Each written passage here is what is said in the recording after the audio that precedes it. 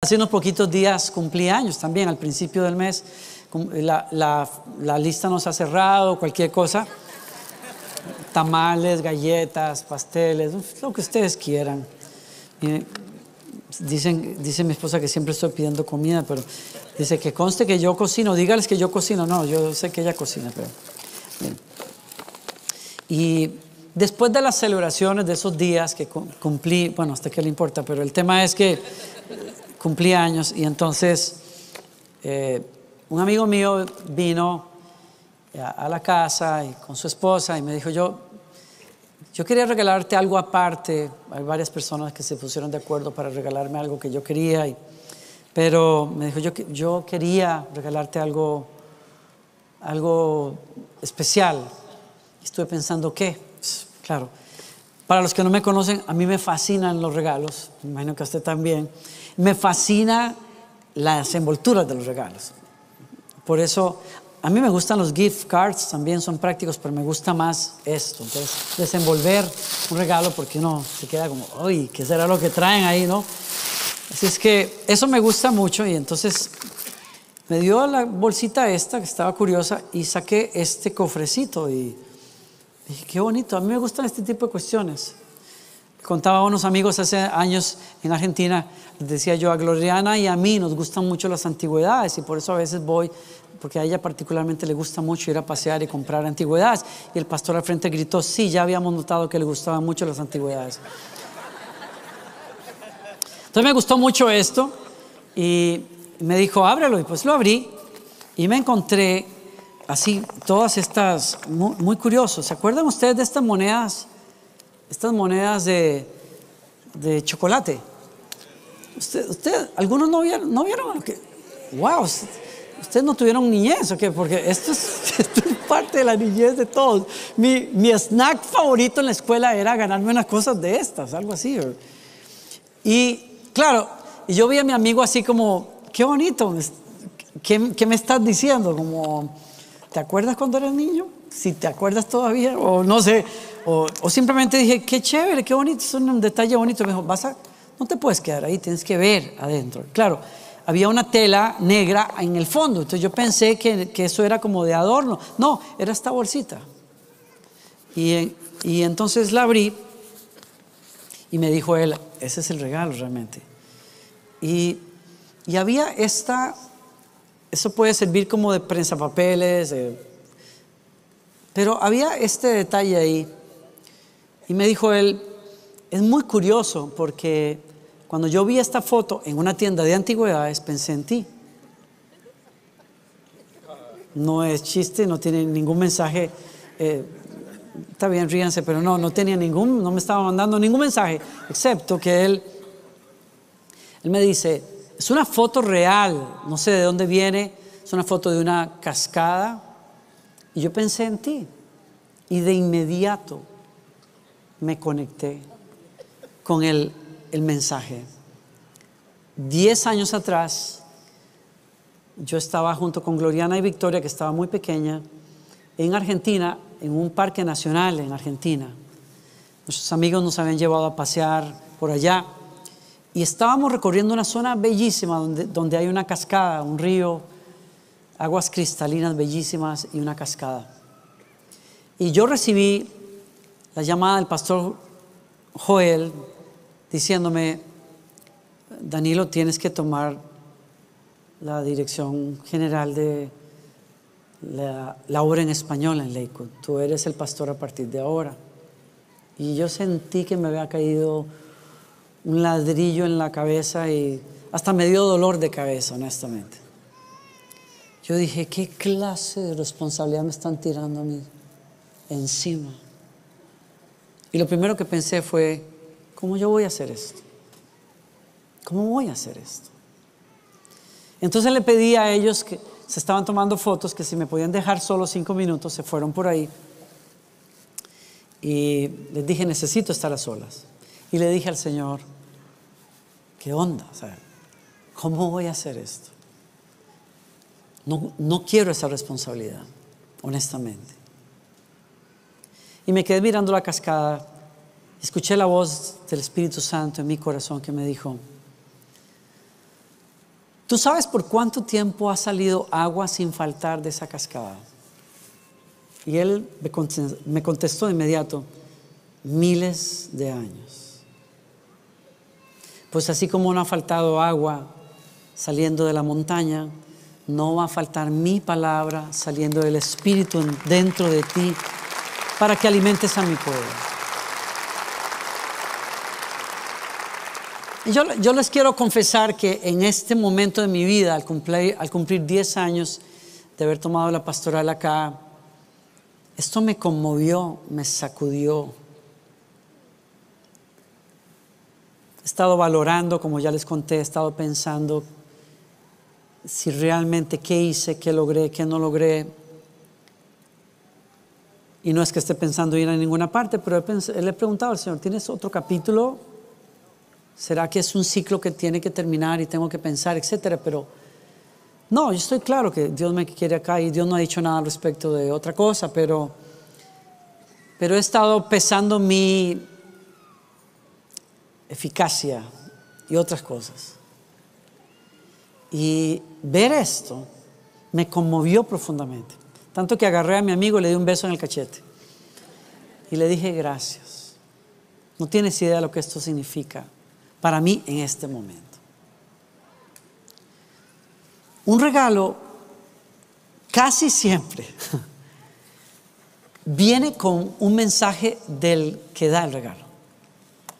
Casi siempre, a menos que sea un regalo que se da por obligación o compromiso, viene porque alguien pensó en ti, alguien quiere decirte algo importante, alguien quiere compartirte su corazón, su visión de quién eres tú para esa persona. Y lo hace a través de un regalo.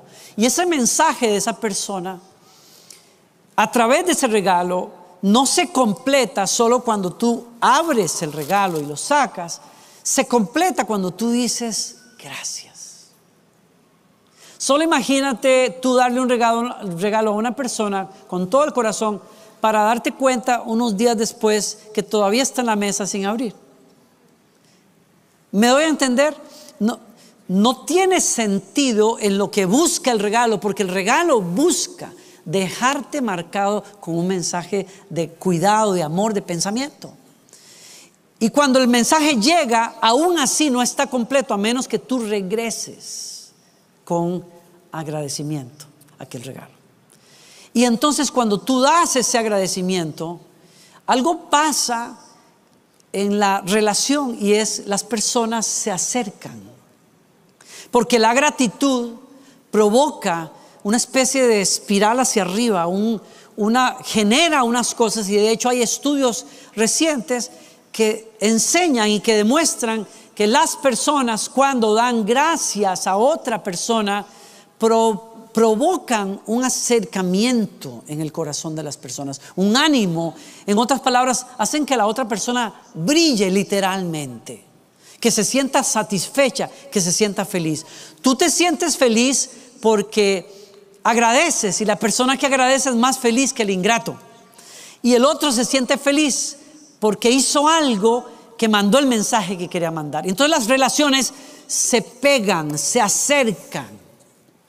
Usted sabía que eso mismo pasa con Dios. Usted sabía que cuando usted reconoce, cuando tú reconoces que las bendiciones de la vida, la salud, la familia, el amor, el trabajo, lo que fuera, vinieron de alguien más que es la fuente de esas bendiciones y te das el tiempo de darle gracias como hemos hablado durante el servicio. Tu relación con Dios se hace más estrecha. Y no solo eso. Dios te permite entrar en una relación, en una dimensión de relación con Él que es más profunda y más poderosa.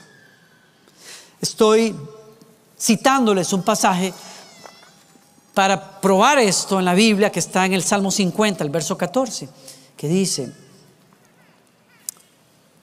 muy brillante el pastor aquí, Haz, no les voy a decir por qué, haz de la gratitud tu sacrificio a Dios. Es que dejé el verso en inglés. haz de la gratitud tu sacrificio a Dios y paga los votos que le prometiste al Altísimo. ¿Está en la pantalla? Haz de la gratitud tu sacrificio a Dios. Miren esto, por favor. Eso es Dios hablando. Haz de la gratitud un sacrificio, una ofrenda que le das constantemente a Dios. ¿Y qué dice? Y cumple tus votos que le has hecho al Altísimo. En otras palabras, cumple lo que le dijiste a Él, Señor. Si tú me respondes, si tú me salvas, si tú me llevas adelante, yo te voy a adorar, te voy a alabar toda la vida. Entonces el salmista de parte de Dios te está diciendo, haz de la gratitud un estilo de vida y especialmente una actitud con la que permeas tu relación con Dios y cúmplele a Dios el voto que le debes. ¿Cuál es? Pues que cada vez que Dios te bendice con algo, lo mínimo que puedes hacer es darle gracias. Y cuando tú cumples esa parte, ¿qué va a hacer Dios? ¿Qué dice el versículo que sigue? Dice, y clama a mí cuando estés en aflicción, y yo te voy a rescatar y tú me darás la gloria. En otras palabras, hay personas que van a ver la operación de Dios a favor de ellos de una manera extraordinaria solo por el hecho de ser agradecidos cuando tienen que ser agradecidos. Y yo me pregunto aquí, ¿habrá gente agradecida con Dios acá? ¿Habrá gente que se acuerda lo que Dios ha hecho? Habrá, habrá alguien que se tome el tiempo de contar sus bendiciones y rastrearlas hasta la fuente. Y llegar a tener esa misión honesta de decir, sí, yo trabajé mucho, pero yo jamás habría logrado esto, de no ser porque mi Dios me bendijo. Yo sé de dónde viene esta bendición. Ese beso de mi esposa viene de Dios. Esos hijos vienen de Dios. Esto que yo pueda ir de vacaciones a Egipto, a no sé dónde, viene de Dios. No, no estabas en Egipto, cabazos. Ah, no, entonces no era cabazo. Alguno lo vi montado en un camello, no fuiste tú. Yo no sé por qué siempre me pasa esto con cabazos, pero. Ah, era, ah, era. Ah, ya sé, que yo, ustedes ven que ustedes pensarán que uno no sabe dónde están ustedes, pero yo los encuentro por Facebook. Cuando no los veo aquí, yo los veo trepados en camellos y digo, mira, ¿A dónde andan esta gente? Eso, o bueno, otras personas que vuelan a Monterrey, a otras partes del mundo, así.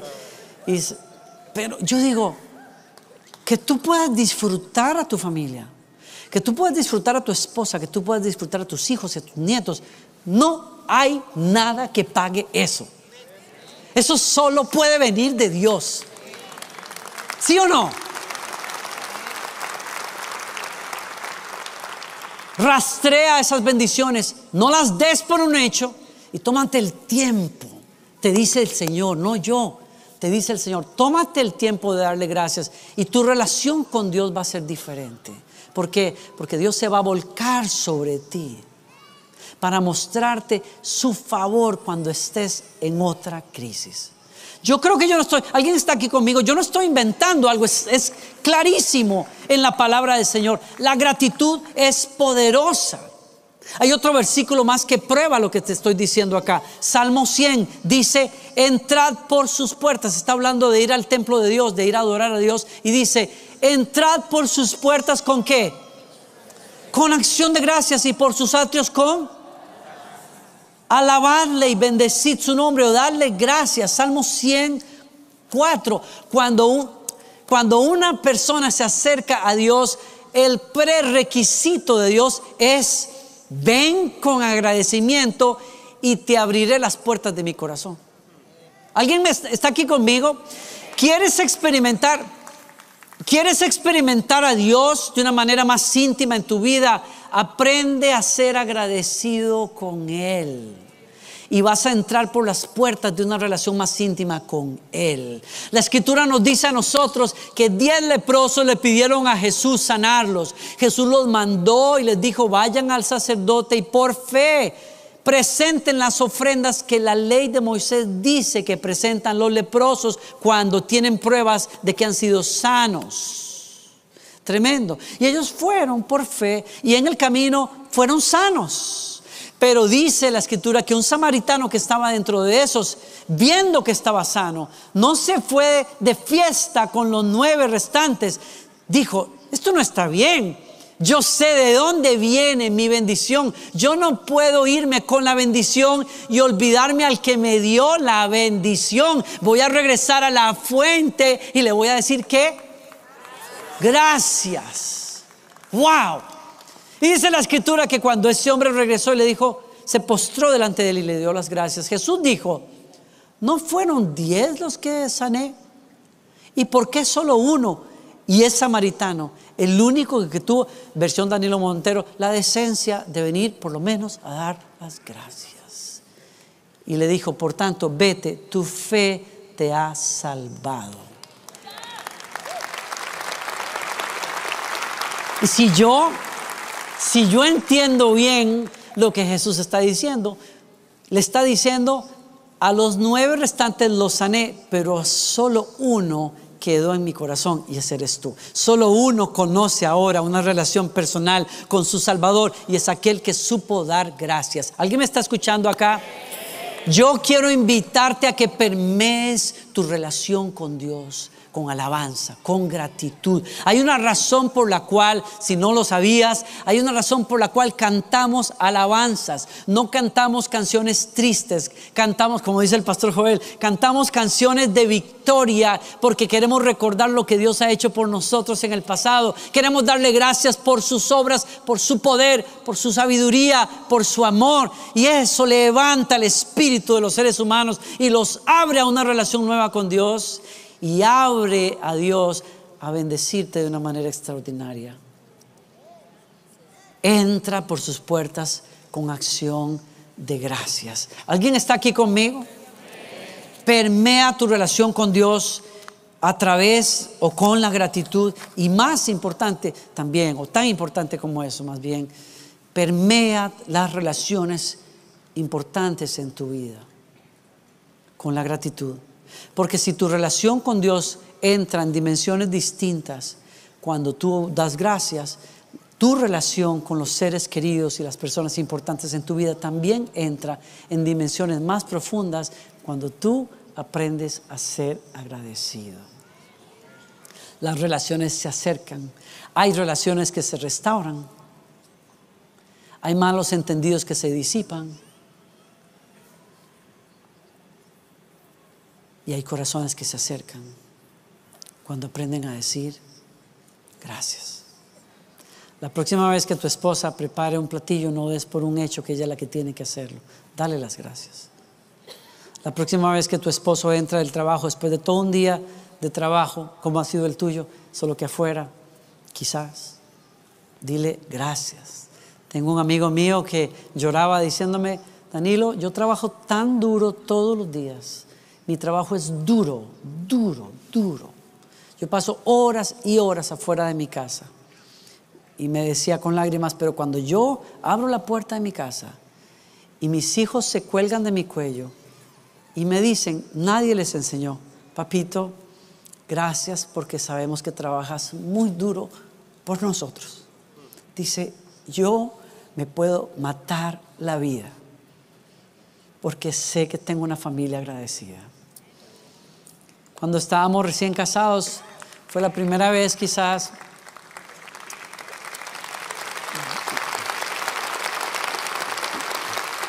Gloriana venía de, de, un trabajo bastante acelerado en un ministerio cristiano, pero era mucho trabajo, mucho, mucho trabajo. Y cuando nos casamos y vivíamos en Orlando, la, casa que había, comprado tenía una piscina atrás, entonces a veces yo la veía ahí por ahí haciendo cosas en la casa y la mandaba a la piscina atrás. Le decía, vaya, disfruta la piscina. Y ella como que, no, no puedo, estoy acostumbrada a otro tipo de cosas, a mucho trabajo y me siento, no sé. Pero alguna vez, en el, transcurso de los meses que siguieron, me acuerdo que fue la primera vez que ella me dijo gracias. Y le dije, ¿por qué? Me dice, gracias por haberme sacado de ella. Le dije, ¿qué quiere decir? No, gracias por, por haber provocado un cambio tan grande en mi vida. A veces vamos de viaje y la oigo diciéndole a, Victoria, dile papá que gracias, porque no estaríamos aquí de no ser porque Dios a él lo llamó. Y, a, mí, yo nunca paso desapercibido las veces que, que tú me dices eso me, me, conmueve, me, mueve. Digo, no, ella no debería, no tiene por qué hacerlo en cosas donde yo considero es fruto del trabajo de ella también, pero ella me dice, gracias por hacerlo. Nos fuimos de descanso unos días y al, llegar allá me dijo, gracias por hacer esto. Y eso me marca profundamente. Es que yo creo, yo creo que la gratitud tiene que permear nuestras vidas, tiene que marcar. ¿Hay alguien a quien le debas quizás las gracias? ¿Será que a Dios le tienes que dar gracias por algo que no le has dado gracias todavía? ¿Por qué no lo hacemos hoy? ¿Será que quizás te quede alguna persona por ahí a la que le tienes que decir gracias nada más? Leí este artículo, termino aquí en que este estudio decía, no tienen ustedes idea el poder que tiene esta frase en la vida de una persona.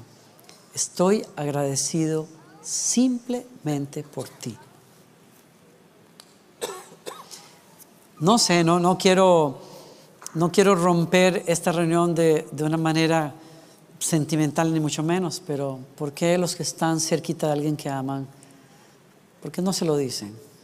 ¿Por qué no, se toma 30 segundos y le dices, gracias por ti, por, por existir, por estar aquí, por, por ser mi amigo, mi amiga? Quizás Ustedes se acuerdan que en una ocasión David tuvo que levantarse del trono y pedir, cuando ya era rey, ¿será que quedó algún descendiente de Saúl, el rey, que había muerto ya? Y le dijeron Mefiboset, el hijo de Saúl, lo mandaron a traer y le dijo, yo necesitaba, yo tengo ya todo lo que yo soñaba y lo que Dios me había prometido, pero no podía sentarme en el trono sin extender misericordia hacia alguien. En algunos momentos de la vida, vale la pena que rastrees tus bendiciones y llegues a la fuente. Y te tomes el tiempo de escribir un correo, hacer una llamada o tener una conversación, un café. No me pongo de ejemplo, fue una necesidad, pero hace unos años busqué a mi maestra de toda la vida, se los conté. Mi maestra de primer grado hasta sexto, la busqué en su casa, ya era una señora muy mayor. Yo no sabía que iba a ser la última vez que yo la, la viera en vida, la vería en vida. Y le dije, gracias, doña Cecilia. Usted no tiene idea lo que usted hizo con esa paciencia y ese amor. Rastrea tus bendiciones y sea una persona agradecida. ¿Vas a vivir más cerca de Dios? Y vas a ser mucho más atractivo para las personas que están cerca de ti. Porque la gente se siente atraída al que es agradecido. ¿Alguien recibe esa palabra?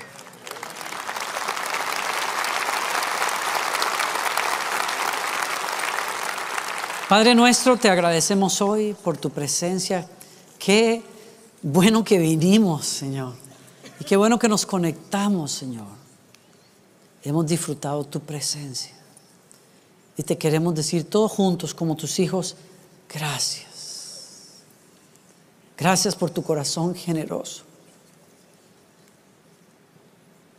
Gracias por amarnos tanto, Señor. Gracias por tu paciencia, por tu misericordia, por permitirnos adorarte, servirte, conocerte, amarte.